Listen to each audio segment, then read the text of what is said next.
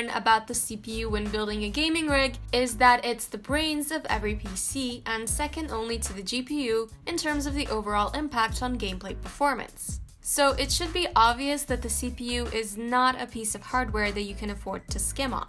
However, the CPU may very well be one of the most daunting and convoluted pieces of gaming hardware for novice builders to shop for. After all, there are so many different specs that all sound important, and if you mess some of them up, you may not even be able to properly piece the PC together. With that in mind, we've decided to dedicate this video to the CPU's spec sheet cache, core counts, clock speeds, and overall compatibility, we'll be covering it all. We won't be covering the specs in depth since the video will already be longer than it usually is, just due to the number of specs we have to cover and the sheer complexity of the piece of hardware. But we will emphasize which specs are important for gaming and which ones you can basically ignore, just as we did in the RAM specs video. That's right, no longer will you need to abandon the dream of building your own custom PC in favor of picking up a pre-built one just because the CPU spec sheet is giving you a headache. So without any further ado, let's begin.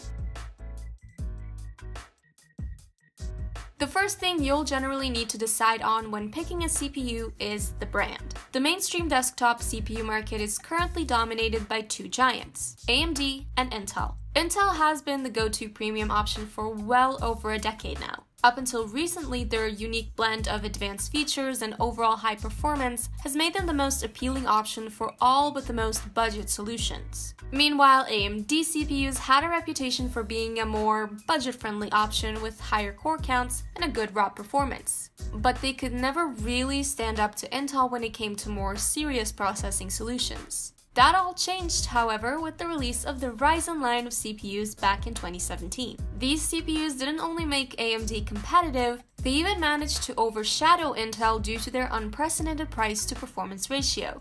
Fast forward to 2019 and the release of their third generation of Ryzen CPUs, and AMD is now generally regarded as the better option for both budget and mid-range gaming rigs. And even those who disagree with this statement can't deny that the playing field is, at the very least, much more even now. So if you're building a mid-range gaming PC, both Intel and AMD CPUs are viable options. But which CPU should you choose? Both AMD and Intel have several series of CPUs, which differ in terms of intended use. For example, AMD has the Ryzen CPUs, which are aimed towards gamers, the Athlon and A-series CPUs, which are intended for simple home and office use, and the Threadrippers, which are generally used for workstations and servers. Intel CPU series can also be divided into these three rough categories, with the Pentium and Celeron CPUs at the bottom of the barrel, the Intel Core series made for gaming, and the Intel Xeon CPUs topping off the list. Now it's obvious that you shouldn't use the simple home and office use CPUs if you're building a gaming rig and want the best performance. But what might not seem as obvious is that you shouldn't use the CPUs intended for workstations and servers if you're just interested in gaming either.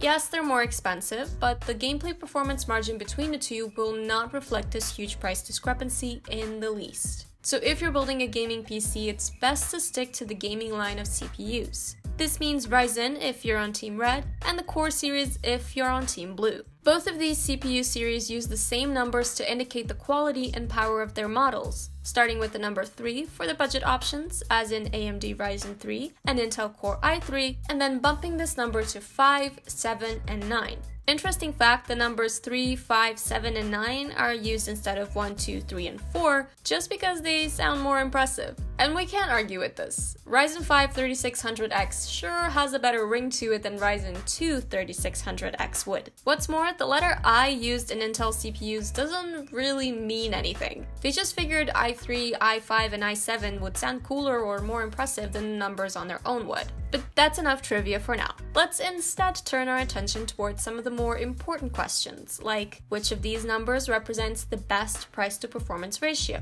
The Ryzen 3 and i3 CPUs are generally affordable solutions great for gamers on a budget. They're undeniably the weakest of the bunch, but they're still gaming CPUs that offer more than the likes of Athlon or Celeron CPUs ever could. The Ryzen 5 and i5 CPUs are more powerful mid-range solutions that are great for gaming and can hold their own with some professional software as well. We should also note that mid-range CPUs generally have no problem getting the most out of many high-end CPUs, so this is the performance range we recommend for most users. The Ryzen 7 and i7 CPUs are really only necessary if you're planning on running CPU-heavy programs. These CPUs are an overkill for most gaming PCs, but they feel right at home in the most high-end builds. As for the Ryzen 9 and i9 CPUs, just forget about them. You really don't need them. These are workstation CPUs and you won't really benefit from having them over a Ryzen 7 or an i7 unless you're building the most hardcore multi-GPU VR gaming PC ever.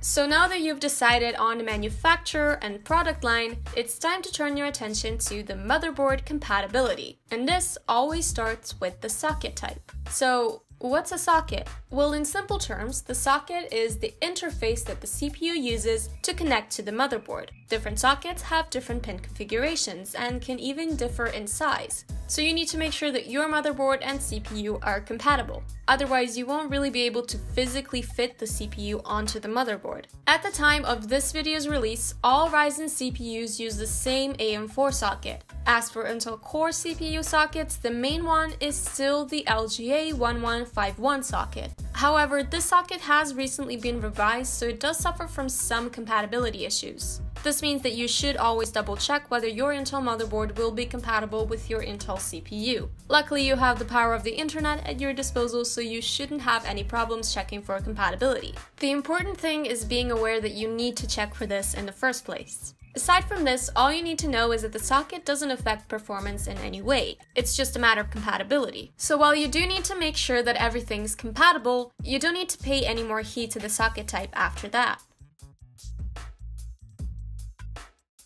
The second motherboard related spec you need to take into consideration is the motherboard chipset. As we've mentioned, the CPU interfaces with the motherboard via the socket, but it uses the chipset to communicate with the other components. In essence, the chipset is a system of circuits that connects all the different parts of the motherboard and determines which features are and aren't available. For example, the number of USB ports, RAM slots, SATA connectors, and PCI Express slots is all dictated by the chipset, and the same goes for the extra features. Just by looking at the chipset, you could ascertain whether the motherboard supports CPU overclocking, multi-GPU setups, Intel Optane, AMD StoreMI, and so on. So if you've got great expectations for your custom PC and pockets deep enough to realize these expectations, then you should carefully consider which chipset offers the best and most relevant features for you. However, if you don't care about these things, then you don't need to care about the chipset at all, aside from maybe getting one that supports overclocking for that extra bit of performance.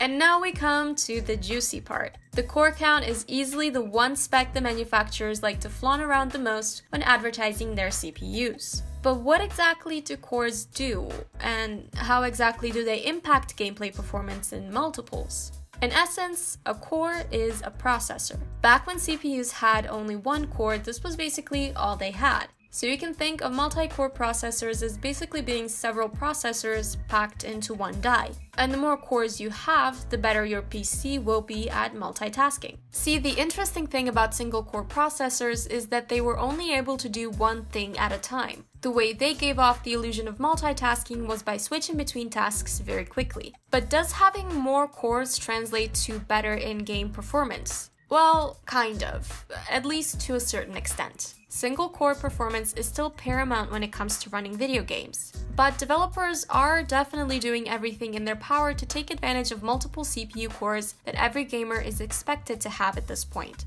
As things stand, hexacore processors have shown themselves to be the most optimal choice in terms of both price and performance. Quad-core CPUs can still run most, if not all games, but depending on the type of game you're playing, they can end up hampering the performance quite significantly. On the other hand, octa-core CPUs don't really improve the gameplay experience all that much compared to hexa-core CPUs. If you're building a high-end PC, then they're great. But otherwise, you won't regret opting for a hexa-core CPU like one of the many great Ryzen 5s or i5s out there. Also, we can't really talk about CPU cores without mentioning threads. Hyperthreading and multithreading are the respective technologies that Intel and AMD use to allow a single physical core to function as two logical cores. If a spec sheet shows that the CPU has, say, 16 12 cores, what this means is that it has 6 physical cores but 12 logical cores, or threads as they're also called. So in essence, these technologies essentially double a CPU's core count by allowing each core to tackle two tasks simultaneously. However, threads aren't all that important for gaming. Like we've said, developers are constantly finding new and better ways to optimize games by using multiple cores. But single core performance is still more important than multitasking as far as gaming is concerned. Having access to more cores, either physical or logical, is never really a bad thing, but it just doesn't trump single core performance. For example, when paired with an RTX 2080, the Ryzen 9 3900X CPU, which has 12 cores and 24 threads, performs either on par with or worse than the i7 9700K CPU with 8 cores and no hyperthreading whatsoever. And the i7 is almost $200 cheaper. So yes, cores and threads are great, but if all you're interested in is gaming, then you don't need anything larger than a hexa-core or octa-core CPU since not only will they be more expensive, but they may not bring any gameplay benefits whatsoever. The clock speed is a spec that shows you how many instructions the CPU can process. Clock speeds are measured in hertz, where 1 hertz corresponds to 1 cycle per second. So if a CPU has a clock speed of 4 GHz, that means it can handle 4 billion instructions per second. Pretty crazy, right? This means that raising the clock speed automatically entails better performance. Any program can benefit from overclocking, which is why it's so popular with gamers. When looking at a spec sheet for any CPU, you'll see two numbers related to it. The base frequency at which the CPU operates out of the box, and the maximum frequency that the CPU can achieve through overclocking. Keep in mind, however, that you'll need a fairly powerful cooling solution if you want to take the clock speed to the max. Also, not all CPUs can be overclocked and not all motherboards support this feature. If you want to get any overclocking done, you'll need both a CPU that can handle this and a motherboard with a chipset that allows this.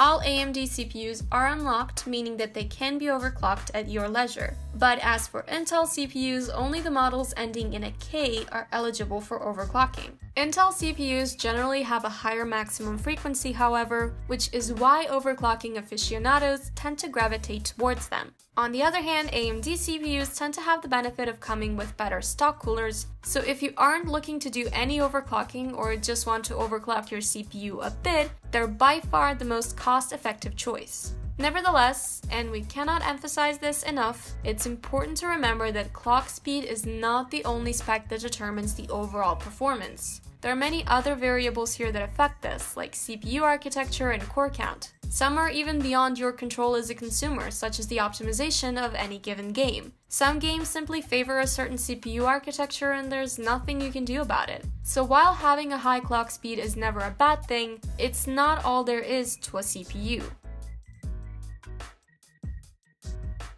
Now if there's one spec that tends to give new builders a headache, it's cache. Why? Well, in our experience, they give more attention to it than they should. So, how much attention should be given to the cache then? If gaming is all you're concerned about, we would have to go with none whatsoever. Let's elaborate on this. A CPU cache is a high speed memory cache assigned to the CPU to make future retrieval of data and instruction faster. It works a lot like RAM in that it functions as a means of high speed temporary storage. But since it's integrated into the CPU itself, it's even faster. This sounds great and all, but it's only really important for multitasking. So while more is better, you can comfortably put cache at the bottom of the list of priorities when shopping for a gaming CPU, or even ignore it entirely. Moving on, we have TPD, or Thermal Power Design. This spec indicates how much power a processor needs in order to function properly. It's useful for determining what kind of wattage you'll need for a power supply to get your custom PC up and running. We highly suggest watching our video on how to choose a power supply if you're new to this, since it isn't as simple as just adding up the TPD of all the hardware pieces and peripherals. But we won't get into the finer details here since the video is already running pretty long. The link is in the description if you're interested. The TPD is also helpful because it tells you what temperature you can expect the CPU to be at when running normal software. Do note, however, that this doesn't indicate what the maximum temperature it can generate is. nor what the maximum power draw is. Overall, it's not a priority spec, but it's handy for figuring out how power efficient the CPU is and how hot you should expect it to run.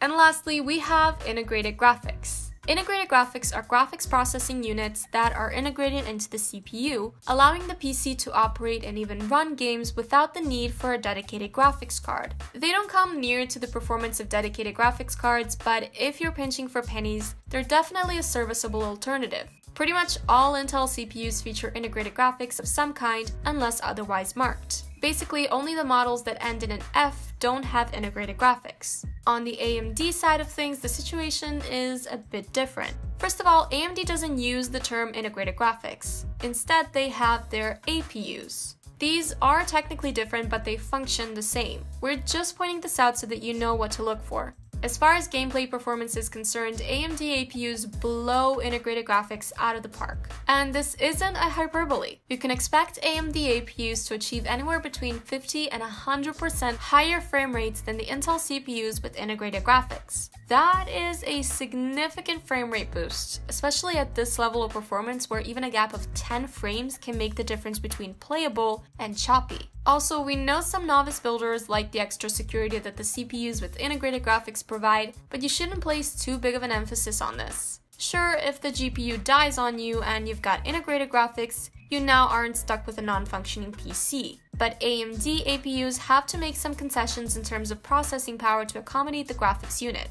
We've already said that the Ryzen 5 CPUs have 6 cores and 12 threads, but Ryzen 5 APUs only have 4 cores and 8 threads. So you'd essentially be downgrading your CPU by quite a bit just to make sure that you can get a bit of extra mileage out of your PC should the GPU malfunction. Overall, we don't think that this is a good trade. And that about does it for this video. This is everything you need to know about the specs of a CPU in a nutshell. We have separate videos where we talk about just certain aspects of the CPU in more detail, but this should be more than enough if all you're looking for is to decide on which CPU is the best for you. To recap, you first need to decide on whether you're getting an Intel or an AMD CPU, and then you need to make sure that it's compatible with your motherboard. The socket is the key part. The chipset is just important if you're looking for some extra features or overclocking support. The specs that influence gameplay performance the most are the core count and the clock speed. In both cases, more is better. But keep in mind that there are also some diminishing returns with core counts after getting past the magic number 8. The TDP shouldn't play any part in dictating your choice of CPU, but it is important to reflect on it after the fact so that you can get a sufficiently powerful PSU. As for the cache, more is ostensibly better, but it doesn't do much when it comes to gaming. Additionally, if you're looking to make full use of integrated graphics, then a good AMD APU should be your first priority, preferably a Ryzen APU. So long as you keep these few pointers in mind, we're confident that you'll have no trouble picking out the best CPU for your needs. It's been a longer video than usual, but the CPU is a more complex piece of hardware than most, so there was really no way of getting around this. In any case, we hope you found this video helpful. If you have, you can help us out by liking it and subscribing to our channel. And if you've got friends who could benefit from watching this video, help them out by sharing it either directly or on social media. Also, if you want to see more videos like this one, click on the bell icon so that YouTube doesn't accidentally sneak them past you. We upload new videos regularly, so the next one should be right around the corner. In the meantime, May your games be fun and your losses few. And as always, we'll see you next time on GamingScan.